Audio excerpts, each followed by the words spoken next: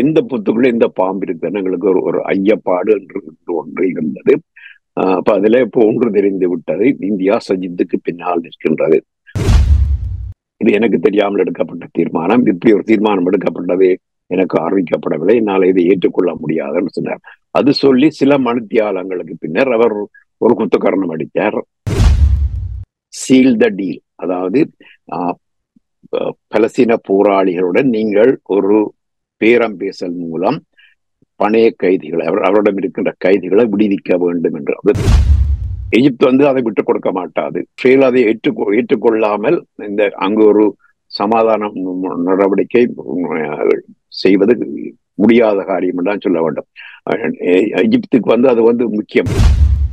துருக்கிக்கு வந்து இந்த மற்ற நேற்றோ நாடுகளுடன் இந்த பலஸ்தீனம் தொடர்பான ஒரு முரண்பாடு உருவாகிவிட்டது அது எந்த அளவுல விரிந்து செல்லும் என்று பொறுத்திருந்து பார்க்க வேண்டும். மற்றது துருக்கி வந்து ஐரோப்பிய ஒன்றியத்துல உறுப்புரிமை கேட்குது.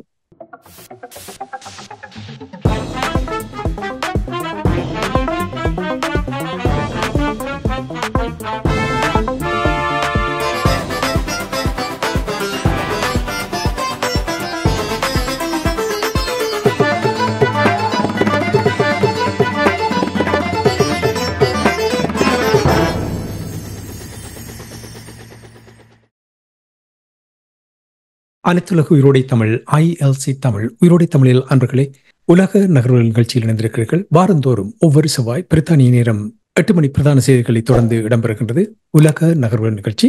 இந்த நிகழ்ச்சியில் எங்களோடு ஆய்வாளர் வேல் தர்மா அவர்கள் இணைந்து உலக நகர்களை அவதானித்து உயிரோடை உறவுகளுக்கு எடுத்து வரும் நிகழ்ச்சியாக இந்த நிகழ்ச்சி அமைகின்றது. கலையத்தில் வேல் தர்மா அவர்கள் இணைந்திருக்கின்றார். வணக்கம் வேல் தர்மா அவர்களே. வணக்கம் தினாஞானி. வணக்கம் நேர்களே இன்றைய உலக நகர்வுகள் நிகழ்ச்சியில் முதலில் நாங்கள் இலங்கை தீவில் நடைபெற இருக்கின்ற அரசு தலைவருக்கான தேர்தல் தொடர்பான விடயங்களை பார்ப்போம். தேர்தல் தொடர்பான விடயங்கள் என்று கூறும் பொழுது உங்களுக்கு தெரியும் அங்கே யார் வெற்றி பெறுவார்கள் என்று தெரியாத ஒரு நிலைமை. இந்த நிலைமையினால் சில சர்வதேச நாடுகள் என்ன செய்வது என்று தெரியாமல் இருக்கின்றார்கள் என்றால் நான்கு முக்கிய மூன்று அல்லது நான்கு முக்கிய வேட்பாளர்கள் அங்கே களத்தில் இருக்கின்ற நிலையில் யாருமே ஐம்பது வீதத்துக்கு மேல் வாக்குகளை பெறமாட்டார்கள் என்ற ஒரு நிலையில் யாரை தெரிவு செய்தது என்று தெரியாமல் சிங்கள மக்கள் திண்டாடுகிறார்கள். இதே நேரத்தில் அமெரிக்கா சீனா இந்தியா போன்ற நாடுகள் யாரை தெரிவு செய்தது என்று அவர்களும் திண்டாடி கொண்டிருக்கின்றார்கள். இந்த நேரத்தில் கடந்த வாரம் அஜித் தேவால் அவர்கள் கொழும்புக்கு பயணத்தை மேற்கொண்டிருந்தார். இங்கே வந்து அவர் குடியரசுத் தலைவர் தேர்தல் தொடர்பாக பலருடன் பேசியிருக்கின்ற விடயங்களை நாங்கள் பார்க்கக்கூடிய இருந்தது இவருடைய இந்த பயணம் பேல்தர்மா அவர்களே என்ன விதமான தாக்கத்தை ஏற்படுத்த போகின்றது என்று நீங்கள் அவதானிக்கிறீர்கள்? அஜித் தோவால் வந்து இந்தியாவுடைய தேசிய பாதுகாப்பு ஆலோசகர் வளமையாக தமிழ் பிரதிநிதிகளுடன் உரையாடுவதற்கு ஜெய்சங்கர் அல்லது இலங்கைக்கான இந்திய தூதுவர்கள் தான் பெறுவது வழக்கம். இந்த முறை வளமைக்கு மாறாக அஜித் டோவால் வந்து தமிழ் அரசியல்வாதிகளை சந்தித்து உரையாடியுள்ளார் இந்த அஜித் டோவால் என்பவர் அவர் வந்து கேரளாவை சேர்ந்தவர். எங்களுக்கு தெரியும் ஏற்கனவே இரண்டு பிரபலமான கேரளாவை சேர்ந்தவர்களை தெரியும். சிவ் சங்கர் மேனன் எம். கே. நாராயணன் அவர்களைப் போலவே இவர் வந்து இவர் வந்து ஒரு உளவுத்துறை பின்னணியை கொண்டவர். உள உளவுத்துறையில ஸ்பை மாஸ்டர் என்று ஒரு ஒன்ற என்ற பட்டத்தை பெற்றவர். இவர் காவல்துறையில் இழந்து பிறகு உளவுத்துறையில் இணைந்து தற்போதும் இந்தியாவுடைய தேசிய பாதுகாப்பு ஆலோசகராக இருக்கிறார் அந்த பதவி வந்து இந்தியாவுடைய ஒரு அமைச்சர் பதவிக்கு இணையானது என்று சொல்லப்படுகின்றது. அப்ப இவர் கொழும்புக்கு வந்து எல்லா அரசியல் கட்சி தலைவர்களையும் சிங்கள கட்சி தலைவர்களையும் சந்தித்து உரையாடியுள்ளார் தமிழ் அரசியல் தலைவர்களையும் சந்தித்து உரையாடியுள்ளார் அதுடன் இலங்கை குடியரசுத் தலைவர் ரணிலையும் அவருடைய சீஃப் ஆஃப் ஸ்டாஃப் முதன்மை அதிகாரியாகிய சாகலர் ரத்நாயக்காவையும் சந்தித்து சந்தித்து பிறகு அத்துடன்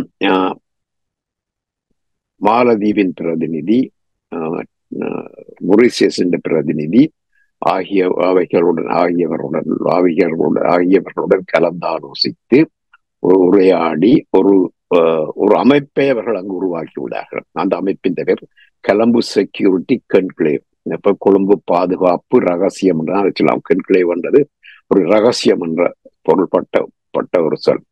அந்த அமைப்பை இந்த இந்த இந்த நாடுகளுடைய இலங்கை இந்தியா மாலதீவு மொரிசியஸ் ஆகிய நாடுகளுடன் இணைந்து உருவாக்கி அந்த அந்த கூட்டத்தில் அந்த உருவாக்குகின்ற கூட்டத்தில் பங்களாதேசம் பார்வையாளராக இருந்தது. ஆனால் இவர் இவர் பயணம் செய்த போது ஒரு பொருளாதார ஒத்துழைப்புக்காக பயணம் செய்கின்றார் என்று சொல்லப்பட்டது. அப்ப அது உண்மை அல்ல பொருளாதார ஒத்துழைப்புக்குன்னா நிர்மலா மாமி தான் வந்திருக்க வேணும்.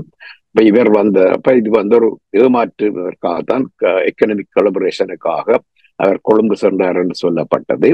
அது மட்டுமல்ல அவர் இந்த கூட்டங்களை எல்லாம் முடித்துவிட்டு நேரு சென்னைக்கு போய் அங்கு ஆர் என் ரவியையும் சந்தித்திருந்தார். ஆர் என் ரவியை சென்னைக்கு ஆளுநராக போட்டதே இந்த கடத்தல்கள் தொடர்பாக தமிழ் தமிழ்நாட்டு கரையோரங்கள் வெறும் கடத்தல்கள் தொடர்பாக அதிக கவனம் செலுத்துவதாகத்தான் சொல்லப்படுவது இப்ப இவருடைய பயணத்தின்றதும் மற்ற இந்த கிளம்பு செக்யூரிட்டி கன்க்ளேவ் என்ற அமைப்பு உருவாக்கவும் வந்து பாகிஸ்தானில் இருந்து அங்குள்ள தீவிரவாதிகளும் அவர்களுடைய உளவுத்துறைகளெல்லாம் சேர்ந்து இலங்கை ஊடாக இலங்கைக்கு போதைப் பொருளை அனுப்பி இலங்கையிலிருந்து போதைப் பொருளை தென்னிந்தியாவுக்கு கடத்துவதாக இது பெரிய குற்றச்சாட்டு. இந்தியாவில் தொடர்ச்சியாக மேற்கொள்ளப்படுகின்றது. அதற்கு அதை தடுப்பதுதான் இவருடைய நோக்கம். அதான் இந்த உள உளவுத்துறை பின்னணியை கொண்ட தேசிய பாதுகாப்பு ஆலோசகர் இலங்கைக்கு போய் போனதற்கான முக்கிய காரணம். ஆர் என்ற ரவீந்திர போலதான் இந்த எல்லை தாண்டிய கடத்தல் தொடர்பான நிபுணத்துவம் பெற்ற அப்ப இவர்கள் இருவரும் இதே இது தொடர்பாக இது தொடர்பாக இவருடைய பயணத்தின் முக்கிய நோக்கம் இதுதான். இப்ப இவர் இலங்கைக்கு போக முன்னம் ஜெய்சங்கருடன் கலந்து ஆலோசித்திருப்பார். இப்ப ஜெய்சங்கர் சொல்லியிருப்பார் போற போக்கில் அந்த தமிழ் தமிழாக்களை கூப்பிட்டு அவரை தலைவர் கூப்பிட்டு வச்சுட்டு போகணும்னு சொல்லியிருப்பார். அப்ப அவர்களை கூப்பிட்டு தமிழ் தமிழ் காட்சிகள் எல்லோரையும் கூப்பிட்டு அதுல அவர்களுடன் உரையாடியதாகவும் அதில் ஒரு செய்திவர்கள் ஒரு குறிப்பிட்ட ஒரு தமிழ் நாடாளுமன்ற உறுப்பினர் மீது மிகவும் கடுமையாக திட்டியதாகும் பொதுவாக இவர்கள் போகும்போது அங்கு திட்டு வாங்குவது வழக்கம். இந்திய பிரதிநிதிகளை சந்திக்கும் போது இந்திய தூதுவராக இருக்கட்டும் வெளியுறவுத்துறை அமைச்சராக தமிழாக்களை கூப்பிட்டு திட்டி திட்டிய திட்டி தான் அனுப்புவார்கள் என்று பண்மை காலங்களாக தான் நடக்கின்றது. அப்ப இந்த பயணத்தை இந்த பயணம் முடிந்த கையோட சுமந்திரன் தமிழரசு கட்சியினுடைய பொது மத்திய குழுவை கூட்டி ஒரு தீர்மானத்தை நிறைவேற்றியிருக்கிறார். அப்ப இது அந்த தீர்மானத்தின்படி தமிழரசு கட்சி சஜித்துக்கு ஆதரவு தெரிவிக்க போகிறது. இப்ப இதுவரை காலம் எங்களுக்கு ஒரு குழப்பம் உங்களுக்கு தெரிந்தது மூன்று நாடுகள் மூன்று நாடுகள் இலங்கை தேர்தலில் அதிக தீவிரம் காட்டி வருகின்றன நேரடியாகவும் மறைமுகமாகவும் அவர்கள் ஈடுபட்டு வருகின்றன. அமெரிக்கா இந்தியா சீனா ஆகிய நாடுகள். இதில் எந்த புத்துக்குள்ள எந்த பாம்பு இருக்குன்னு எங்களுக்கு ஒரு ஒரு ஐயப்பாடு என்று ஒன்று இருந்தது. அப்ப அதுல இப்போ ஒன்று தெரிந்து விட்டது. இந்தியா சஜித்துக்கு பின்னால் நிற்கின்றது. அடுத்தது அமெரிக்கா போதும் ரணிலுக்கு பின்னால் இருக்கும் நமக்கு தெரியும். மற்றது அமெரிக்கா எப்போவும் எல்லா விதமான இவென்ச்சுவாலிட்டி எந்த எல்லா இதுக்கும் முதல் எல்லா விதமான நிகழ்தகவுக்கும் ஏற்ற வகையில தன்னை தயார்படுத்திக் கொள்ளும். அந்த அடிப்படையில அவர்கள் அமெரிக்கா வந்து அனுரகுமார சனாயக்காவையும் தப்பி தவறிய வென்றால் அவர் தன் பக்கம் பெற வேண்டும் என்ற நிலையிலும் செயற்பட்டு வருகின்றது. இப்ப சீனாவை பொறுத்தவரை அதனுடைய நடவடிக்கையெல்லாம் நகரம் இரகசியமாகத்தான் இருக்கும். அப்ப இந்த தமிழரசு கட்சி கூட்டத்தை கூட்டியாச்சு. கூட்டி கூட்டிருப்போம் அந்த அதுக்கு அந்த கூட்டத்துல ஒரு முடிவெடுக்கின்றார்களாம். இந்த சஜித்தை தான் தெரிவு செய்வதற்கு. அப்ப தமிழரசு கட்சியுடைய ஒரு முக்கிய உறுப்பினரான கே வி தவராஜா சொல்ல இந்த கூட்டம் வந்து சரியான முறையில கூட்டப்படவில்லை என்றும் இந்த தீர்மானம் தான் கூட்டத்திலிருந்து வெளியேறிய பின்புதான் இந்த முடிவு எடுக்கப்பட்டது என்று இப்ப பொதுவாக எங்களுக்கு ஊர் சங்கங்கள் பிரித்தானியாவில் ஊர் சங்கங்கள் அது எங்களோட ஊர்ல எங்களோட கிராமத்து வாசிசாலையில கூட ஒரு தீர்மானத்தை நிறைவேற்றுவதாக இருந்தால் இந்த அந்த இப்படி ஒரு தீர்மானம் இந்த கூட்டத்தில் நிறைவேற்றப்படவிருக்கின்றது என்ற என்பதை நிகழ்ச்சி நிரல உள்ளடக்கித்தான் ஆக குறைந்தது ஏழு நாட்களுக்கு முன்னாவது முன் முன்னராவது அந்த கூட்டத்துக்கான அழைப்பு அழைப்பு அனுப்பப்படும். எல்லா உறுப்பினர்களுக்கும் அனுப்ப அனுப்பப்பட வேண்டும். இப்ப கட்சியினுடைய அந்த மத்திய குழுவில் நாற்பத்தொரு உறுப்பினர்கள் இருக்கின்றார்கள். அதில் ஒரு சிலர் சொல்ற தாங்கள் அழைக்கப்படவில்லை என்று. குறிப்பாக யோகேஸ்வரன் முன்னாள் முன்னாள் நாடாளுமன்ற உறுப்பினர் அவருக்கு அழைப்பு அழைப்பு அழைக்க வழங்கப்படவில்லை என்று சொல்லியிருந்தார். ஸ்ரீதரனுக்கு அழைப்பு ஸ்ரீதரனுக்கு அழைப்பு வழங்கப்பட்டது என்று தெரியவில்லை.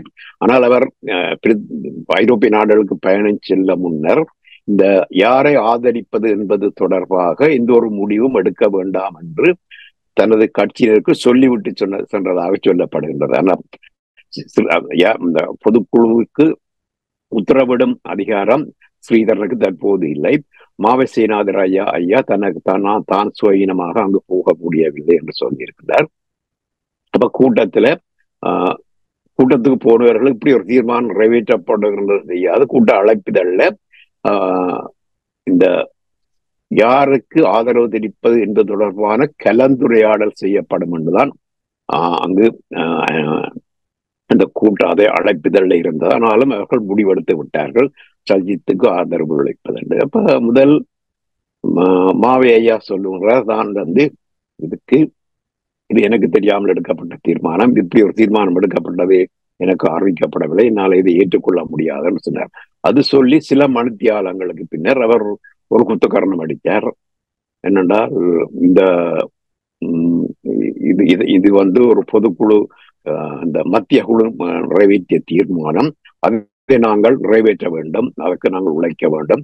அதன் மூலம் இலங் தமிழர்களுடைய சுதந்திரத்தை வென்றெடுக்க வேண்டும்.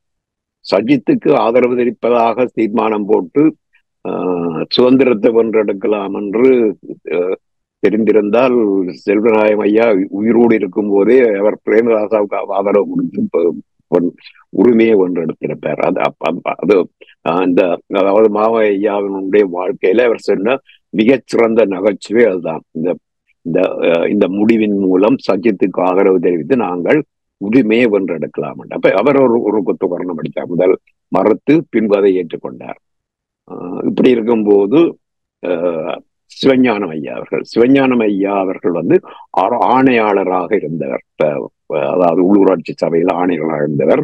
அப்ப அவர் அவருக்கு வந்து இந்த கூட்ட நெறிமுறைகள் பற்றி மிக நன்கு தெரிந்த ஒரு ஆளாகத்தான் இருக்க வேண்டும். அப்ப அவர் சொல்லி சொன்னார் கூட்டம் முறைப்படி கூட்டப்பட்டது.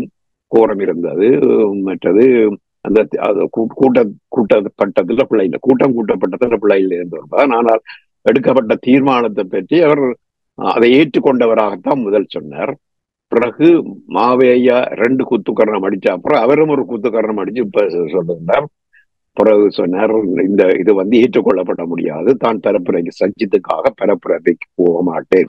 சஜித்துக்கு பரம்பரை சஜித்துக்காக மக்கள் மத்தியிலே பரப்புரைக்கு போனால் அவருக்கு என்ன நடக்கும்னு அவருக்கு தெரியும். இப்ப இந்த ரெண்டு குத்துக்கரணத்துக்கும் என்ன காரணம்? இப்ப மாவேயாவுக்கு எக்ஸ்பிரஸ்ல ஏதாவது சூட் கேஸ் வந்ததா? ஒரு கேள்வி இருக்கின்றது இந்த சூட்கேஸ் கேஸ் வார்த்தை நாங்கள் எங்களோட நிகழ்ச்சியில அடிக்கடி பயன்படுவோம். இந்த சூட்கேஸ் கிடைச்சது மாவையாக போட்டது எனக்கு விரையில்லை என்று சிவஞானம் ஐயா சினம் வந்துட்டு போல. அப்ப அவர் தான் மற்ற பக்கத்தால இன்னொரு அடிச்சார்.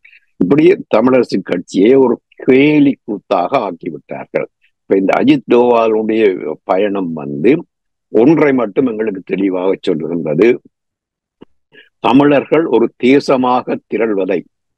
இந்த இந்த இந்த வாக்கியம் தற்போது தமிழ் அரசியல் பரப்பில் ஈழத்தமிழ் அரசியல் பரப்பில் மிக அதிகமாக பயன்படுத்தப்படுகின்ற வசனம். அதாவது தமிழர்கள் ஒரு தேசமாக திரள வேண்டும் என்று அதை இந்தியா ஒருபோதும் அனுமதிக்காது. அதை நாங்கள் நீண்ட காலமாக சொல்லி வருகின்றோம். இப்ப இந்த இந்த இல்ல முழு முழு எபிசோட்ல இருந்து எங்களுக்கு தெரிய வேண்டியது இந்தியா என்ற ஒரு நாடு இருக்கும் வரை தமிழர்களுக்கு விமோசனம் இல்லை. கோமாளிகள் கேலிக்கூத்து என்று நீங்கள் கூறினீர்கள் கேலிக்கூத்து ஆடலாம். இந்த விமர்சனங்கள் எனக்கு பிரச்சனை இல்லை. ஆனால் எனக்கு என்ன இதுல பிரச்சனை என்று சொன்னால் தமிழ் மக்களால் தெரிவு செய்யப்பட்ட அரசியல்வாதிகளே இவ்வாறான ஒரு நிலைமையில் நிற்கிறார்கள் என்றால் பாருங்கள் இவ்வளவு காலமும் உங்களுக்கு தெரியும் கடந்த ஒரு நான்கு ஐந்து ஆண்டுகளுக்கு முன்னதாக நீங்கள் பார்த்தீர்கள் என்றால் தமிழ் பிரதிநிதிகள் நான் தலைவர்கள் என்று சொல்ல விரும்புவதில்லை என்றால் இவர்கள் தலைமைத்துவத்துக்கான எந்த ஒரு குணா அம்சங்களும் அவர்களிடம் இல்லை. அதற்கு தகுதியே இல்லை என்றுதான் நான் எப்பொழுதுமே கூறிக்கொண்டிருப்பேன். நாடாளுமன்ற உறுப்பினர்களாக இருக்கிற அனைவருமே. நீதியரசருக்கு அந்த அம்சங்கள் இருந்தாலும் அவருக்கு அரசியல் தெரியாத ஒரு நிலைமை இருக்கின்றது என்பதை நான் இங்கே அடிக்கடி சுட்டிக்காட்டியிருக்கிறேன். இப்ப நீங்கள் கூறினீர்கள் இந்தியா தொடர்பாக கூறும் பொழுது ஓம் கடந்த காலங்களில் அப்படி அவர்கள் போய் சலுகைகள் பெற்றுக்கொண்டு வருவது. ஆனால் இந்த தடவை இதுதான் நான் எனக்கு பிடித்திருக்கின்ற அதாவது பொது வேட்பாளர் ஒருவரை கொண்டு வந்து நிறுத்தி இருக்கின்ற பொழுது இவர்களால் தன்னிச்சையாக முடிவெடுக்க முடியாமல் திக்குமுக்காடுகிறார்கள். ஏனென்றால் இவர்கள் என்னத்தையும் குறிவிட்டு போகலாம். சுமந்திரன் சொன்னவுடன் அவர் உடனடியாக அவர் சொல்வதை கேட்டு மக்கள் வாக்களிக்க போவதில்லை. அதன் படித்த முட்டாள் என்று அந்த கூட்டத்திலேயே யாரோ சொன்னார்கள் என்று சண்டை பிடித்தார்கள். கடந்த தமிழரசு கட்சியின் கூட்டத்தில் சண்டை பிடித்த ரெண்டு விடயங்களை கூறும் பொழுது இப்பொழுது அது நிறுவனமாகின்றது சுமந்திரன் சொல்வதை யாரும் கேட்க போவதில்லை. ஆனால் தமிழ் பொது வேட்பாளர் அங்கே களமிறகின்ற நேரத்தில் தமிழ் மக்கள் இதுவரை காலமும் நாடாளுமன்ற உறுப்பினர்களை நம்பி அவர்கள் இவர்களுக்கு பொய்யான வாக்குறுதிகளை வழங்கி சிங்கள தேசத்திடமிருந்து நாங்கள் ஒரு தீர்வை பெற்றுக் கொடுக்கலாம் என்று சொல்லிக் கொண்டிருப்பதும் நாடுகள் மீது காழ்ப்புணர்வை வைத்துக் கொண்டு நாங்கள் பேசுவதும் எந்த விதத்திலும் தமிழ் மக்களுக்கு இது ஒரு பலன் அளிக்க போவதில்லை. இதற்காக உயிரோடை தமிழில் கூறிய விடயம் என்னவென்றால் இந்த பொது வேட்பாளர் வந்திருப்பது இவர்களுடைய உண்மையான முகங்கள் என்ன என்பதை வெளிப்படுத்துகின்றது. பாருங்கள் கஜேந்திரகுமார் பொன்னம்பலம் அவர்களுடைய அணியை பாருங்கள். இனி சுமந்திரனை பாருங்கள். செல்வம் அடைக்கலனான் அவர்களை பாருங்கள். அவர்கள் இங்கே ஒன்று சொல்லிவிட்டு என்னமோ ஒன்று அங்கே சொல்லி குழப்பத்தை ஏற்ப அப்ப இங்கேதான் இந்த பொது வேட்பாளர் என்பது இவர்களுடைய முகத்திரையை உடைத்திருக்கின்றது. இப்படியான ஒரு நிலைமை நாங்கள் தொடர்ந்தால்தான் தமிழ் மக்கள் எங்களுக்கென்ற ஒரு பாதையை கண்டுபிடிக்கலாம். இல்லை என்றால் இவர்களுக்கு பின்னால் இவர்கள் சொல்லுவதை கேட்டுக்கொண்டிருந்தால் கடைசி என்ன காரணத்துக்காக அஜித் தேவால் அவர்கள் தமிழ் தரப்போடு இந்த முறை வந்து கதைக்க வேண்டும். அது நினைக்கிறேன் பெரும்பாலும் இந்த தேர்தல்ல தங்களுடைய பிராந்திய நலனுக்கு ஏற்ற வகையில் தான் அவர் கதைத்திருக்கிறார். இவர்கள் வந்து கதைத்த பின்பு உண்மையிலே அங்கு என்ன என்ன பேசினோம் என்பதை அவர் ஒரு நாளும் வெளி சொல்லுவதில்லை. இப்படிப்பட்ட உயரிய சந்திப்புகள்ல ஒரு கூட்டறிக்கையாவது விட வேண்டும் அவர்கள். அல்லது முடிந்த பின்பு அவர்கள் ஒரு பத்திரிகையாளர் மாநாட்டையாவது உண்டி செய்ய வேண்டும். தெளிவாக ஒன்று தெளிவாக தெரிகிறது. பொது வேட்பாளர் தாக்கத்தை ஏற்படுத்தி இருக்கின்றது. இல்லை என்றால் வளைமை போல் வந்து அவர்கள் செய்கின்ற நாடகத்தை எங்களுடைய ஒன்று ரெண்டு நீங்கள் கூறுவது போல் சலுகைகள் பெறுபவர்கள் பின்னால் போய் வருவார்கள் அல்லது இந்தியாவுக்கு போய்விட்டு வந்து சொல்லுவார்கள் இவர்கள் இவருக்கு தான் வாக்களிங்கள் அந்த வேலை இங்கே எடுபடவில்லை. அதை நீங்கள் ஏற்கிறீர்களா? இந்தியா பொறுத்தவரையில பகிரங்கமாக யாருக்கும் சொல்லவில்லை. அல்லது மறைமுக கூட இன்னாருக்கு வாக்களிக்கிறீர்கள் என்று சொல்லவில்லை. தமிழக தரப்புகளிடம் அவர்கள் இந்த கிடைத்து கிடைக்கப்பட்ட செய்திகளை வைத்து பார்க்கும் போது யார் பதிமூன்றாம் திருத்தத்தை அமுல்படுத்துறோம் என்று சொல்கின்றார்களோ அவர்களுக்கு வாக்களியுங்கள். அதன் மூலம் உங்கள் உரிமையை பெற்றுக் கொள்ளுங்கள். ஒற்றுமையாக நன்கு செய்யுங்கள் என்றுதான் சொல்லியிருந்தார். முன்பு சிவசங்கர் மணிகம் ரவி வெளியுறவுத்துறை அமைச்சர் கூட அதைத்தான் சொல்லியிருந்தார். ஜெய்சங்கர் கூட அதைத்தான் சொல்லியிருந்தார். ஆனால் அவர் வந்து அப்ப இதை இதை வச்சுக்கொண்டு உண்டை பொருத்தி பார்க்கலாம். இந்தியா வெளி இந்தியாவுடைய வெளியுறவுத்துறை சஜித்துக்கு சொல்லியிருக்கு. நீ பதிமூன்றாம் நிறைவேற்றுவேன் என்று ஒரு ஒரு வார்த்தை மூலமாக சொல்லு. நான் அவர்களுக்கு சொல்லுகின்றோம் பதிமூன்றை யார் நிறைவேற்றுகின்றார்களோ அவர்களுக்கு நீ நிறைவேற்றுகிறோம் என்ற வாக்குறுதியை தருகின்றாரோ அவர்களுக்கு நீங்கள் வாக்களியுங்கள் என்று சொல்லி சொல்லி இருக்கலாம் என்று என்று என்று ஒன்று நான் நினைக்கின்றேன். ஆனால் இந்த சுமந்தரனுடைய செயல் வந்து சஜித்துக்கு அடிப்பதற்கு சஜித்தினுடைய எதிரிகளுக்கு பொல்லு கொடுத்தது போல அமைகின்றது. இப்போது இந்தியா சொல்லித்தான் சுமந்திரன் சஜித்தை ஆதரிக்கின்றார் என்ற ஒரு செய்தி உறுதிப்படுத்தப்பட்டால் அல்லது சிங்கள மக்கள் மத்தியிலே போச்சு வந்தால் அவர்கள் மத்தியிலே ஒரு பரப்புரையை செய்யலாம். இந்தியாவும் சுமந்திரனும் சஜி சஜித்துமே சேர்ந்து இல்ல நாட்டை பிரிக்க போறாங்க பிரிச்சு தமிழ்நாட்டை கொடுக்க போறாங்க. என்று சொல்லுவது குறைவாக மதிக்க மாட்டார்கள் சுமந்திரனுடைய நிலைப்பாடு தொடர்பாக தமிழ் தரப்பில் சுமந்திரனுக்கு எவ்வளவு ஆதரவு இருக்கின்ற என்பதை இந்தியாவுக்கு நிச்சயமாக தெரியும். சுமந்திரன் சொல்வதை யாரும் கேட்பதற்கு தயாரில்லை என்று அங்கே தாயகத்திலிருந்தே கூறுகிறார்கள். நாங்கள் வெளிநாட்டிலிருந்து கூறுத்தவில்லை இல்லையா? சுமந்திரன் பொதுவாக ஆக்கள் வந்து அந்த மக்கள் மத்தியிலே சுமந்திரனுக்கு ஒரு ஒரு மோசமான எதிர்ப்பு உண்டு. ஆனால் தமிழரசு கட்சிக்குள்ள சுமந்திரனை துணிந்து எதிர்த்து நிற்கக்கூடிய ஒரு ஆளுமையும் இல்லை என்றுதான் சொல்ல வேண்டும். தவராஜா கூட அதை தொடர்ந்து ஊடகத்துக்கு வழங்கிய பேட்டியில கடுமையான வார்த்தை பிரயோகங்கள் எதையும் சுமந்திரனுக்கு எதிராக பாவிக்கவில்லை. சுமந்திரன் வார்த்தையை பாவிப்பதே குறைத்திருந்தார். அந்த கூட்டத்தை பற்றி தான் அவர் சொன்னாரே ஒழிய அப்ப தவராஜாவாலேயே எதிர்க்க முடியாது என்றால் மற்றவர்களும் மாத்திரம் அவர் சட்டத்தரணி அதை கவனமாக கையாளுவார் என்றால் இது சட்ட சிக்கலுக்குள் வந்து விட்டால் அதை கவனமாக கையாள வேண்டும் என்பதற்காகத்தான் அவர் அவ்வாறு கூறியிருப்பார் என்று நான் பழகியபடியால் நான் சொல்லுகிறேன். அவரிடம் அவ்வாறான குணம் இருக்கின்றது. கூடாத குணங்கள் அவரிடம் கூடாத குணங்கள் இல்லை என்று சொல்லலாம். அவர் அவருடைய அந்த கடுமையான வார்த்தைகளை பாவிப்பது அவருடைய இயல்பும் அல்ல இல்லை. சரி நாங்கள் பொறுத்திருந்து பார்ப்போம். என்ன பொறுத்த மட்டில் ஒன்றே ஒன்றை நான் இங்கே கூறலாம். இந்த தமிழ் பொது வேட்பாளர் ஒரு தாக்கத்தை ஏற்படுத்தி இருக்கின்றது அவர்களுக்கு ஒரு தலையடியை கொடுத்திருக்கின்றது. இதன் ஊடாக தமிழ் அரசியல்வாதிகள் யாரையுமே தமிழ் மக்கள் இனி நம்ப போவதில்லை என்பதை இப்பொழுது அந்த பொது வேட்பாளர் பரவலாக கொழும்பில் கூட பேசுகிறார்கள். இன்று இன்று கூட ஜிஎல் பீரிஸ் அவர்கள் யாழ்ப்பாணம் வந்திருந்தார். என்ன கூறினார் தெரியுமா? அவர் கூறியது என்னென்றால் நீங்கள் உங்களுடைய பொது வேட்பாளருக்கு வாக்கை போடுங்கள். இரண்டாவது விருப்பு வாக்கை சஜித்துக்கு போடுங்கள் என்று அவர் நாசுக்காக சொல்லிவிட்டு சார். பாருங்கள் இந்த பொது வேட்பாளர் என்பது தமிழ் பொது வேட்பாளர் என்பது தெற்கிலங்கையிலும் ஒரு தாக்கத்தை ஏற்படுத்தி இருக்கின்றது அதை நான் வரவேற்கின்றேன். ஆனால் இங்கே இரண்டாவது வாக்கு போடுவது முற்றிலும் தவறு. ஏனென்றால் அப்படி என்றால் பொது வேட்பாளரை நிறுத்துவது அர்த்தமில்லாமல் போய்விடும். இதைத்தான் நான் நீதியரசரோடு பேச உரையாடும் பொழுது ஆரம்பத்தில் கேட்கும் பொழுது அவர் கொஞ்சம் தெளிவில்லாமல் இருந்தார். ஆனால் பிறகு பேசும் பொழுது சொன்னார் ஓம் அப்படி என்றால் இரண்டாவது வேட்பாளருக்கு போடுவதில் எந்த ஒரு அர்த்தம் இல்லை என்ற விடயங்களை கூறு. எனவே இந்த பொது வேட்பாளர் ஒன்று மட்டும் நான் இது இப்படித்தான் எங்களுடைய தமிழ் தரப்பு செயல்பட வேண்டும். ஒரே மாதிரியாக நாங்கள் செயல்பட்டு கொண்டிருக்காமல் புது புது வழிகளை கண்டுபிடி இதுவும் ஒரு போராட்டமாகத்தான் நான் பார்க்கிறேன். உண்மையிலே இந்த பொது வேட்பாளர் தொடர்பாக பார்க்கும்பொழுது அதுவும் ஒரு விதத்தில் ஒரு போராட்டம்? ஒரு போராட்ட வடிவம். கட்டாயம். ஒரு சிங்கள வேட்பாளருக்கு நாங்கள் வாக்கு போடக்கூடாது என்பதை உறுதியாக எங்களுடைய மக்கள் அதை வெளிப்படுத்தினால் இது சர்வதேசத்துக்கும் ஒரு செய்தியை கூறும் சிங்கள தேசத்துக்கும் ஒரு செய்தியை கூறும் என்பதைத்தான் பலர் சுட்டிக்காட்டினார்கள். உயிரோடை தமிழில் ஆறு மாதங்களுக்கு முன்னதாக நாங்கள் இங்கே உரையாடி கொண்டிருந்தோம். அதனுடைய ஒரு விளைவாகத்தான் விளைச்சை பார்க்கும் பொழுது மக்கள் எங்களுக்கு தெளிவு தந்திருக்கிறார்கள். நாங்கள் அதை காவி சென்றிருக்கின்றோம் என்பதைத்தான் கூறலாம். சரி நாங்கள் தொடர்ந்து அடுத்த இன்னும் இன்னும் மூன்று வாரங்கள் இருக்கின்றது அரசு தலைவருக்கான தேர்தல் தொடர்பான விடயங்களை தொடர்ந்து பார்ப்பதற்கு. இனி நாங்கள் இஸ்ரேலுக்கு செல்வோம்.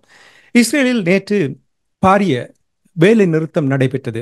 ஆறு கைதிகளினுடைய உடலத்தை மீட்டெடுத்ததாக இஸ்ரேலுடைய இராணுவத்தினர் கூறியது. அதனைத் தொடர்ந்து அந்த நாட்டு மக்கள் அவர்களுக்கு இப்பொழுது புரிய தொடங்கிவிட்டது. மிஞ்சி இருக்கின்ற ஏனைய கைதிகள் உயிரோடு வருவார்களா என்ற ஒரு ஐயத்தில் இருக்கிறார்கள். தொடர்ச்சியாக அவர்கள் பெஞ்சமின் நெட்டனியாக அவர்களுக்கு அழுத்தத்தை கொடுத்து வந்தாலும் இடையே அவர்கள் ஒரு மந்த நிலை இருந்தது. ஆனால் நேற்று பாரிய போராட்டத்தை நடத்தி இருக்கிறார்கள் கடையடைப்பு வீதிகள் எல்லாம் நிறைய மக்கள் அங்கே நின்று போராடி கொண்டிருந்தார்கள். இந்த ஆர்ப்பாட்டத்தினூடாக ஏதாவது மாற்றம் வரும் என்று நம்புகிறீர்களா அங்கே இஸ்ரேலில்? இஸ்ரேல செய்த இந்த பொது வேலை நிறுத்தம் இதனுடைய முக்கிய குரல் வந்து சீல் த டீல் அதாவது பலசீன போராளிகளுடன் நீங்கள் ஒரு பேரம் பேசல் மூலம் பணைய கைதிகளை அவர் அவரிடம் இருக்கின்ற கைதிகளை விடுவிக்க வேண்டும் என்று. அது பணைய கைதிகளுடைய அந்த அந்த குறிப்பிட்ட கைதிகளுடைய குடும்பத்தினருடைய நீண்டகால கோரிக்கையாகவும் இருந்தது. அது மட்டுமல்ல பல மிதவாத யூதர்களுடைய கோரிக்கையாகவும் இருந்தது. முன்பெல்லாம் ஒரு மூன்று யூதர்களை விடுவிக்க இரண்டாயிரம் பலஸ்தீன கைதிகளை சிறையிலிருந்து இஸ்ரேல் விடுவித்த வரலாறு உடல் உண்டு. ஆனா இந்த முறை இருநூறுக்கு மேற்பட்டவர்களை கைது அவர்கள் கைது செய்து வைத்திருக்கின்றார்கள். இப்ப இந்த இப்ப முப்பதாம் தேதி ஒரு ஒரு ஒரு சுரங்கத்தை கைப்பற்ற பெரிய படையினர் போன போது அங்கு ஆறு உடல்கள் அவர்கள் கைப்பற்ற ஆறும் இளைய இளையவர்கள். அந்த அக்டோபர் ஏழாம் தேதி ரெண்டாயிரத்தி இருபத்தி மூன்று அக்டோபர் ஏழாம் தேதி இந்த பலசீன போராளிகள் தாக்குதல் செய்த போது ஒரு இசை நிகழ்ச்சியை பார்த்து கொண்டு வீடு திரும்பிய இளையோர் ஐந்து பேரும் ஒரு விவசாயியும் இதில் அட அடங்குவார். அவர்கள் வந்து இருபத்தி நாலு வயதுக்கு இருபத்தி நாலு வயதில் முப்பது வயதுக்கு உட்பட்டவர்கள் ஐந்து பேரும் ஒரு நாற்பது வயது வயதான விவசாயியும் அந்த கொல்லப்பட்ட ஆறு கைதி கைதிகள்ல கைதிகளாகும். இப்ப இதை இதை பார்த்தவுடன் எஞ்சி இன்னும் நூ நூற்றி ஒரு கைதிகள் இருக்கிறார்கள். பலசீன போராளிகள் அப்ப அவர்களில் இனி உயிரோடு திரும்புவார்கள் என்பது நிச்சயமில்லை. என்னடா இப்படி இனி தாக்குதலுக்கு போகின்ற போது அங்கு தாக்குதல் மீ தாக்குதல்ல அகப்பட்டும் கொல்லப்படலாம் அல்லது போராளிகளாலும் கொல்லப்படலாம். அவர்கள் அந்த தாக்குதலில் தாங்கள் தங்கள் இடத்தை அவர்கள் கைப்பற்றி போகின்றார்கள் சென்றவுடன் அந்த கை தங்களிடம் கைதிகளை அவர்கள் கொன்று விடுவார்கள். அப்ப அது அப்ப இனி இனி ஏனைய கைதிகள் விடுதல் விடுவிக்கப்பட மாட்டார்கள் என்ற நிலைத்தான் இந்த பெரிய ஒரு வேலை நிறுத்தம் நடைபெற்றது. இப்ப நெத்தன்யாகு வந்து இந்த போரை நடத்தும் போது கைதிகளை விடுவிப்பதற்காக அவர் போர் செய்யவில்லை. அந்த பலஸ்தீன இந்த ஹமாஸ் போராளிகளை அழிப்பது பலஸ்தீனத்தை பொருளாதாரத்தை சீரழித்து அதை தரமட்டமாக்குவது எல்லாவற்றிற்கும் மேலாக இந்த பிடடெல் பிலடெல்பி கொரிடோர் என்ற ஒரு பாதை இருக்கின்றது. ஹமா காசா நிலப்பரப்புக்கும் எகிப்துக்கும் இடையிலான ஒரு ஒரு சிறிய ஒரு பாதை. அதன் அகலம் பத்து மீட்டர் நீளம் பதினாலு கிலோமீட்டர். அதற்கு கீழே அதன் அதில் நிலத்துக்கு அடியில் தான் இந்த சுரங்கங்கள் மூலம் ஹாசா நிலப்பரப்புக்கு தேவையான உணவு மற்ற அவசிய பொருட்கள் மற்றது ஹமாஸ் அமைப்பிற்கு தேவையான படைக்கலங்கள் யாவும் அவற்றுடா போகிறோம் அது அதை கைப்பற்றினால் ஹமாஸை அடக்கலாம் என்ற என்ற அடிப்படைத்தான் இவருடைய படை நடவடிக்கை பெருமளவில் இருந்தது. மற்றது பெருமளவு போராளிகளை கொல்ல வேண்டும் என்றது ஆனால் நெத்தஞ்சியாக சிலவற்றில் வெற்றி கண்டுள்ளார். அதாவது ஹாசா நிலப்பனுடைய பொருளாதாரத்தை முற்றாக சீரழித்து விட்டார் என்று சொல்லலாம். அங்கு ஒரு உயர்ந்த கட்டிடங்கள் ஒன்றுமே இல்லை. நாற்பதாயிரத்துக்கு மேற்பட்ட பல ஹமாஸ் போராளிகள் கொல்லப்பட்டுள்ளனர். பல சுரங்கங்கள் சேதப்படுத்தப்பட்டுள்ளன.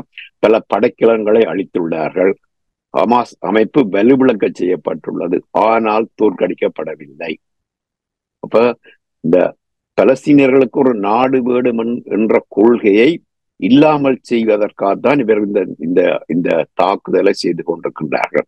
எப்படி இலங்கையில தமிழர்களுக்கு தமிழர்கள் மத்தியிலே அந்த தமிழ் தேசியம் என்ற கொள்கை இல்லாமல் செய்வதற்காக பல நாடுகள் தற்போது எங்களுக்கு எதிராக சதி செய்து கொண்டு கொண்டிருக்கிறதோ அதுபோலத்தான் என்ன சொன்னா போராளிகளை மட்டும் அழைத்தால் போதாது கொள்கையையும் அழிக்க வேண்டும். அந்த கொள்கையை அழிப்பதற்கா அழிக்க முடியாது என்பது இஸ்ரேலுக்கும் தெரியும் மற்ற நாடுகள் மற்ற எல்லோருக்கும் தெரியும். அப்ப இந்த இந்த போர் கடைசி கட்டத்துல வந்து விட்டதெல்லாம் சொல்லுவோம் மேற்கொண்டு தாக்குதல் செய்வதற்கு அங்கு ஒன்றும் இல்லை இப்ப நான் நினைக்கிறேன் பெரும்பாலும் இனி அந்த ஒரு பேச்சுவார்த்தை மூலம்தான் இனி பணைய கைதிகள் விடுவிப்பதற்கான வாய்ப்புகள் உண்டு.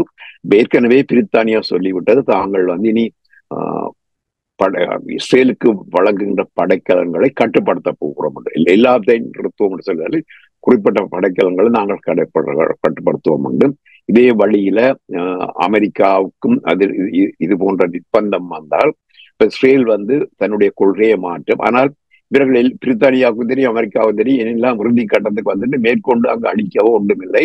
இனி பேச்சுவார்த்தை மூலம் இப்ப ஹமாஸ் கேட்பது முழுதாக போர் நிறுத்தங்கள். ஒரு இட நிறுத்தம் இல்லை சீஸ்பேர்ல எண்ட் ஆஃப் போர் தான் அவர்கள் கேட்பது. முழுமையான போர் நிறுத்தமும் கைதிகள் பரிமாற்றம் தான் ஹமாஸ் இருப்பது அவர்கள் அதற்கு முழுமையாக போரை நிறுத்த முடியாது.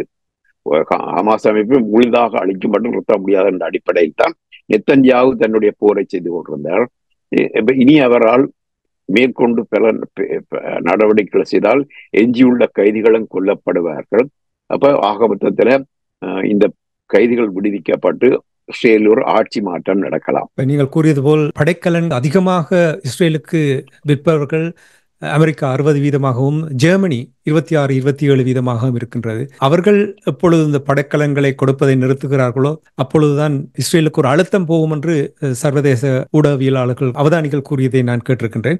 இனி நீங்கள் இப்போ இந்த பிலடெல்பியா கொரிடோர் அந்த ஓடியை நீங்கள் கூறும் பொழுது அதே ஒரு முக்கிய காரணமாக இந்த பேச்சுவார்த்தைக்கு ஈடுபடுவதற்கு தயாரில்லை என்றால் அதையும் உள்ளடக்கி இருக்கிறார்கள். அதாவது ஈஜிப்த் அந்த எல்லையை தங்களுடைய கட்டுப்பாட்டுக்குள் கொண்டு வர வேண்டும் என்று இஸ்ரேல் முன்மொழிந்திருப்பதாக கூறப்படுகின்றது. அதை எந்த காலத்திலும் ஏற்றுக்கொள்வார்களா? ஈஜிப்த் வந்து அதை விட்டுக் கொடுக்க மாட்டாது இஸ்ரேல் அதை ஏற்று ஏற்றுக்கொள்ளாமல் இந்த அங்கு ஒரு சமாதான நடவடிக்கை செய்வது முடியாத காரியம் தான் சொல்ல வேண்டும். எகிப்துக்கு வந்து அது வந்து முக்கியம். அது வந்து ஹமாஸ் அமைப்பை தன்னுடன் வைத்திருப்பதற்கு தன்னுடைய ஒரு கட்டுப்பாட்டுகளை வைத்திருப்பதற்கு அந்த பிலடெல்பியா கொரிடோர் வந்து மிக மிக அவசியம். அப்ப அது வந்து எகிப்துக்கும் இஸ்ரேலுக்கும் இடையிலான பிரச்சனையாகத்தான் இனி அதிகம் அடிபட போகிறது நிலைமைகள் வந்து எப்பொழுது வெடிக்கும் என்று பார்த்து கொண்டிருக்கிறார்கள். ஹமாஸ் அடிப்பார்களா? ஹூதிஸ் அடிப்பார்களா? ஈரான் அடிக்குமா? ஈராக்கிலிருந்து தாக்குதல் வருமா என்று. ஆனால் நிலைமை இப்பொழுது ஒரு அமைதியாக இருக்கின்றது. இது விரிவடைவதற்கு வெடிப்பதற்கு வாய்ப்புகள் எதுவும் இருக்கிறதா? விரிவடைவதற்கான வாய்ப்புகள் குறைவு தான் சொல்ல வேண்டும். ஈரான் வந்து அடக்கி வாசிப்பது போல தெரிகின்றது. ஆனால் மற்றது ஹிஸ்புல்லாவும் பெருமளவில் தாக்குதல் செய்யவில்லை. தற்போது இரு அடங்கி இருந்து விட்டு ஆனால் இஸ்ரேல் மீதான தாக்குதல் தொடர்ந்து நடந்து கொண்டே இருக்கும். அதாவது ஹிஸ்புல்லாவிடமிருந்து ஹூதிஸிடமிருந்து மற்றது ஹமாஸ் அமைப்பிடமிருந்து எல்லாம் பல்வேறுபட்ட தாக்குதல் வேறு வேறு இடங்களில் நடக்கலாம். அது மட்டுமல்ல சில தீவிரவாத தாக்குதல்கள் மற்ற வட ஆப்பிரிக்க நாடுகள்லேயோ அல்லது மேற்காசிய நாடுகள்லேயோ நடப்பதற்கான வாய்ப்புகள் எழுதலாம். பல நாடுகள்ல இஸ்லாமிய இளைஞர்கள் மிகவும் விரக்தியும் சினமும் கொண்டுள்ளார்கள் இந்த காசா இனக்கொலையால நேற்று இஸ்ரேலில் நடந்த பொது வேலை நிறுத்தம் தொடர்ச்சியாக நடந்தால் இஸ்ரேலுக்கு பெரிய பாதிப்பை ஏற்படுத்துமா? பொருளாதார பாதிப்பை ஏற்படுத்தும். அவர்கள் அந்த வேலைநிறுத்தம் செய்யும் போது விமான ஊடுக விமான விமான நிலையங்கள் மூடுவது மற்றது அத்தியாவசிய மருத்துவ சேவை போன்றவற்றையெல்லாம் முற்றாக செயலிழக்க செய்கின்ற ஒரு வேலை நிறுத்தமாக தான் அது நடந்தது. அப்படிப்பட்ட வேலை நிறுத்தம் தொடர்ந்து நடந்தால் இஸ்ரேலால தாக்க தாக்கு பிடிக்க முடியாது. பொருளாதாரம். எந்த நாட்டாலும் பொருளாதார பொருளாதாரம் தாக்குப்படுத்த முடியாது. சில நிறுவனத்தின் முதலாளிகள் தங்களுடைய ஊழியர்களை போய் போராடுங்கள் என்று ஊக்கப்படுத்தியதாக கூட நான் ஊடகத்தினூடாக செய்தியை அது நடந்தது. டெல்லவி நகர முதல்வர் மேயர் கூட அந்த போராட்டத்துக்கு தன்னுடைய சபையினரை அனுப்பியதாக சொல்லப்படுகிறது ஒரு பரவலான ஆதரவுடன். இதுதான் ஒரு மாற்றத்தை கொண்டு வரும் என்று எதிர்பார்க்கிறார்கள். பார்ப்போம். அடுத்த வாரம் இது தொடர்பாக மேலதிக தகவலோடு நாங்கள் உயிருடைய உறவுகளுக்கு எடுத்து வருவோம். நிகழ்ச்சி என்று கொண்டு வருவதற்கு முன்னதாக நேட்டோ. நேட்டோ ஒரு பெரிய ஒரு பிரச்சனையாக இருந்தது. உங்களுக்கு தெரியும் கடந்த முறை டொனால்ட் ட்ரம்ப் அவர்கள் பதவி எடுத்த பொழுது அமெரிக்காவின் அரசு தலைவராக பதவி எடுத்தவுடன் முதல் வேலையாக நேட்டோவுக்கு கொடுக்கின்ற பணத்தை நிறுத்தினார். அதைத் தொடர்ந்து நான்கு ஆண்டுகளுக்கு பின்னதாக இப்ப நீங்கள் பார்த்தீர்கள் என்றால் யுக்ரைன் நேட்டோ இணைவது அவர்களுடைய ஒரு முக்கியமான ஒரு நோக்காக இருந்தது. அந்த நோக்கத்தை காரணமாக வைத்துத்தான் பூட்டின் அவர்கள் அந்த போரை தொடர்த்தார் என்ற விடயங்கள் எல்லாம் அடிக்கடி பேசிக் கொண்டிருந்தார்கள். நேட்டோ அணியில் உறுப்பு நாடுகள் இருக்கின்றன நிறைய நாடுகள் இருக்கின்றன. அந்த நாட்டில் துருக்கியும் ஒரு நாடாக இருக்கின்றது. இஸ்லாமிய நாடுகளில் ஒரே ஒரு நாடு இந்த இந்த நேட்டோ அணியில் இருக்கிறார்கள். இவர்கள் இந்த அணியில் இருப்பது துருக்கி நாடு இந்த அணியில் இருப்பது நேட்டோவுக்கு ஒரு சுமை ஒரு தலையிடியை கொடுக்கின்றது என்று நீங்கள் நம்புகிறீர்களா? துருக்கி வந்து உலகத்திலேயே அந்த கேந்திர முக்கியத்துவம் வாய்ந்த நாடுகள்ல ஒரு நாடு என்றுதான் சொல்லும். நமதும் அமெரிக்காவை பொறுத்தவரையில கேந்திர முக்கியத்துவம் வாய்ந்த பூகோள அமைப்பு கொண்ட நாடு வந்து துருக்கி. துருக்கி வந்து ஒரு ஒரு சிறு நிலப்பரப்பு ஐரோப்பாவிலும் பெருநில பெருநிலப்பரப்பு வந்து ஆசியாவிலும் இருக்கின்றது அது மட்டுமல்ல மத்திய திறக்கடல் அது அதனுடைய எல்லையில் இருக்கின்றது. ஆப்பிரிக்காவுக்கு அண்மையில் இருக்க மூன்று கண்டங்களுடைய நடு நடுவில் இருப்பதாலும் பட் ரஷ்ய கடற்படை வந்து மத்திய தரைக்கடல் செல்வதாயின் துருக்கி துருக்கியுடைய தயவில் தான் செல்ல முடியும். துருக்கி நினைத்தால் அவர்களை தடுக்க முடியும். இப்படிப்பட்ட நிலையில துரு மற்ற துருக்கி இருக்கின்றது. அப்ப துருக்கியின் தற்போதைய ஆட்சியாளர் எர்டோகன் வந்து அவர் வந்து ஒரு இஸ்லாமிய தேசியவாதியாகத்தான் தன்னை நிலைநிறுத்துகிறார் அப்படி இருக்கின்ற போது இந்த பலஸ்தீன விடுதலை போராட்டம் போன்றவற்றெல்லாம் அவர் அக்கறை காட்ட வேண்டிய ஒரு நிலையில் இருக்கின்றார். அப்ப பலஸ்தீனியர்கள் அங்கு கொல்லப்படுகின்ற போது ஒரு துருக்கி ஒரு இஸ்லாமிய நாடாக இருந்து உண்டதை பார்க்காமல் இருக்க முடியாது. அந்த வகையில துருக்கிக்கு வந்து இந்த மற்ற நேட்டோ நாடுகளுடன் இந்த பலஸ்தீனம் தொடர்பான ஒரு முரண்பாடு உருவாகிவிட்டது. அது எந்த அளவுல விரிந்து செல்லும் என்று பொறுத்திருந்து பார்க்க வேண்டும். மற்றது துருக்கி வந்து ஐரோப்பிய ஒன்றியத்தில் உறுப்புரிமை கேட்குது அந்த உறுப்புரிமை வந்து கொடுக்கவே மாட்டார்கள் என்று என்று தற்போது முடிவு செய்யப்பட்டு விட்டது என்று சொல்லலாம். அதுல பிரெஞ்சு அதிபர் வந்து பகிரங்கமாகவே சொல்லிவிட்டார். ரெண்டாயிரத்தி பதினெட்டுல கடைசி வரைக்கும் கிடைக்காது என்று. முதலாவது காரணம் ஒரு இஸ்லாமிய நாடு என்பதால் அடுத்தது இந்த துருக்கி துருக்கி ஐரோப்பிய ஒன்றியத்தில் இணைந்தால் ஐரோப்பிய ஒன்றியத்திலே மிகப்பெரிய நாடாக ஜெர்மனியில் பார்க்க அதிக மக்கள் தொகை கொண்ட நாடாக துருக்கி இருப்பதால் அங்கு அவர்களுடைய ஆதிக்கம் அதிகரிக்கும். அப்ப இது போன்ற காரணங்களால் துருக்கியை ஐரோப்பிய ஒன்றியத்தில் இணைப்பதை தடுத்து பெறுகின்றார். அதன் விரக்தியை துருக்கி வந்து நேட்டோவில் நடக்கின்ற முடிவுகளின் போது தன்னுடைய அதிருப்தி மூலமாக வெளிப்படுத்துகின்றார் அதனால் அது அந்த அடிப்படையில் தான் இந்த துரு துருக்கி துருக்கி வந்து இந்த நேட்டோவில் ஒரு குழப்பங்காசி போல இருக்கின்றது. பல குறிப்பாக இரண்டு நாடுகள் ஸ்வீடன் மற்றது இன்னும் ஒரு நாடு அண்மையில நேட்டோவில் இணைய முயன்ற போது அதற்கு அதை தடுக்கின்ற ஒரு நாடாக துருக்கி இருந்தது. பின்பு பல பேச்சுவார்த்தை இழுபறைக்கு பின்னர் தான் துருக்கி வந்து அதில் அனுமதிக்கப்பட்டது. துருக்கியை நேட்டோவிலிருந்து விலக்க வேண்டும் என்ற பல கட்டுரைகள் அமெரிக்காவுடைய பல ஊடகங்கள்ல இருந்து வெளிவந்து வெளிவந்து வெளிவந்து கொண்டிருக்கின்றன.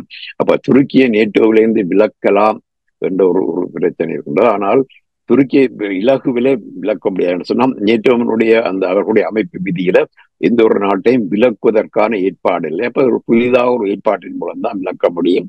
அது மட்டுமில்லை துருக்கியில் அமெரிக்காவுக்குன்ற ஒரு தளம் இருக்கிறது. அந்த தளத்துக்கு மாற்று தளமாக சைப்ரஸ்ல அல்லது கிரீஸ்ல ஒரு ஒரு பெரிய தளங்களை அமைத்த பின்னர் தான் துருக்கி துருக்கி துருக்கிக்கு வந்து பிரச்சனை நேட்டோவில் இருந்து நேட்டோ கூட ஒரு பிரச்சனை வரும் அது மட்டுமல்ல எங்களுக்கு தெரியும் இந்த எஸ் த்ரீ ஃபோர் ஹண்ட்ரட் என்ற வான் பாதுகாப்பு முறைமையை ரஷ்யாவிடமிருந்து துருக்கி வாங்க முனைந்த போது அமெரிக்கா அதற்கு கடும் எதிர்ப்பு தெரிவித்தது. ஒரு ஒரு பகுதி அது வாங்கிவிட்டது அதற்கு அதற்கு பழிவாங்கும் முகமாக எஸ் தேர்ட்டி ஃபைவ் என்ற அமெரிக்காவுடைய ஐந்தாம் தலைமுறை விமானத்தை துருக்கிக்கு விற்பனை செய்வதை அமெரிக்கா நிறுத்திவிட்டது இப்ப எஃப் தேர்ட்டி ஃபைவ் போதுமான உற்பத்தியில அவருடைய பாகங்களை உற்பத்தி செய்வதில் கூட துருக்கி பங்கு பெற்றிருந்தது. இப்ப துருக்கியினுடைய நாட்டில எஃப் தேர்ட்டி ஃபைவ் இருந்து எஸ் ஃபோர் ஹண்ட்ரடும் இருந்தால் இரண்டும் ஒன்றுடன் ஒன்று இணைந்து செயற்பட வேண்டும். இல்லாட்டி அது வேற இது வேற அதை இது சொல்லும் இல்லாத இதை அது சுடும் எல்லாம் எலக்ட்ரானிக்ல செயற்படுகின்றபடியால் அப்ப அந்த அடிப்படையில இந்த எஸ் ஃபோர் ஹண்ட்ரட் வாங்கினால் நாங்கள் உங்களுக்கு எஃப் தேர்ட்டி ஃபைவ் தரமாட்டோம் என்று அமெரிக்கா சொல்லியிருந்தது. இதே இப்ப இதே போல இந்தியா எஸ் ஃபோர் ஹண்ட்ரடையும் வாங்கியது. இந்தியா எஸ் ஃபோர் ஹண்ட்ரட வாங்கியதுக்கான கதை வேற. இந்தியாவிடம் எஃப் தேர்ட்டி ஃபைவ் இல்லை. மற்றது இந்தியா வந்து அமெரிக்காவுடன் எந்த ஒரு பாதுகாப்பு கூட்டுற கூட்ட ஒப்பந்தம் அதாவது துருக்கி நேட்டோவில் இருப்பது போல இல்லை. இப்ப நேட்டோ நாடுகளுடைய அந்த எலக்ட்ரானிக் ஓஃபேர் முழுக்க ஒன்று ஒன்றுபடுத்தும் போது அதுக்குள்ள எஸ் ஃபோர் ஹண்ட்ரட் வந்து சொன்னால் எஸ் ஃபோர் ஹண்ட்ரட் வந்து மற்ற போர்க்கருவிகளில் உள்ள தகவல்கள் யாவற்றையும் வாரி அழங்கி ரஷ்யாவுக்கு அனுப்புவதற்கு வாய்ப்பு உண்டு. இப்ப இந்தியாவுக்கு அப்படி ஒன்று நடப்பதற்கான வாய்ப்பு குறைவு. அதனால்தான் அமெரிக்கா எஸ் ஃபோர் ஹண்ட்ரட் இந்தியாவுக்கு விற்பதற்கு எந்த விதமான தண்டனையும் கொடுக்க முடியாமல் இருந்தது. தேவையும் இல்லை. ஆனால் எஸ் ஃபோர் ஹண்ட்ரட் துருக்கிக்கு விற்பதற்கு அமெரிக்கா ஒரு பியூனிட்டி மெஷரை எடுத்தது. அதான் காரணம். சிறப்பு. இன்றைய உலக நகர் நிகழ்ச்சியில் இணைந்து உலக நகர்களை அவதானித்து உயிரோடை தமிழ் உறவுகளுக்கு எடுத்ததுக்காக உயிரோடை தமிழ் அன்பர்கள் சார்பாக நன்றி கூறிக்கொண்டு மீண்டும் அடுத்த வாரம் உலக நகர்கள் நிகழ்ச்சியில் இணைந்திருப்போம். அதுவரைக்கும் நன்றி வணக்கம் வெல்தர்மாவிலே வாய்ப்புக்கு நன்றி வணக்கம்.